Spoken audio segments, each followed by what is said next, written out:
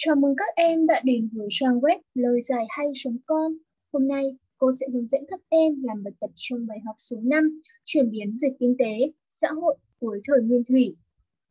Bài tập của chúng ta ngày hôm nay đó chính là trả lời câu hỏi vận dụng số 1 trong trang sách số 25, sách giáo khoa lịch sử và địa lý lớp 6. Câu hỏi có nội dung như sau. Nêu những chuyển biến về kinh tế, xã hội cuối thời nguyên thủy chuyển biến nào là quan trọng nhất, vì sao?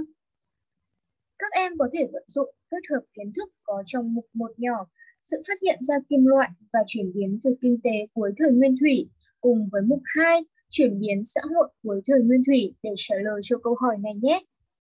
Cô sẽ hướng dẫn các em trả lời câu hỏi này như sau.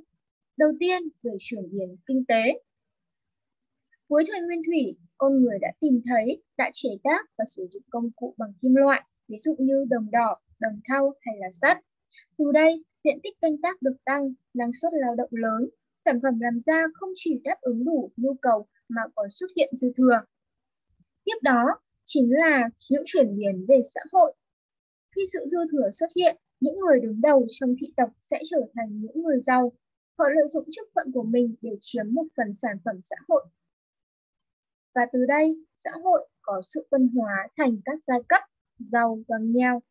Tuy nhiên, đối với phương Đông thì sự phân hóa giai cấp mang tính chất không triệt để bởi do tính chất sản xuất của nền nông nghiệp cũng như yêu cầu của việc chống giặc ngoại xâm.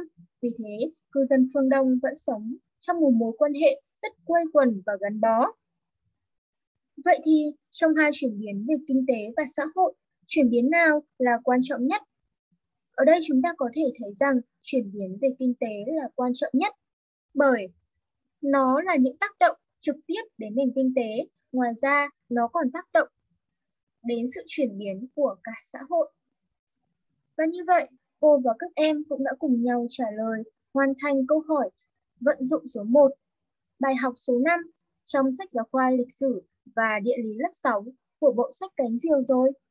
Các em hãy truy cập vào trang web lời giải hay.com để xem chi tiết các bài giảng khác nhé.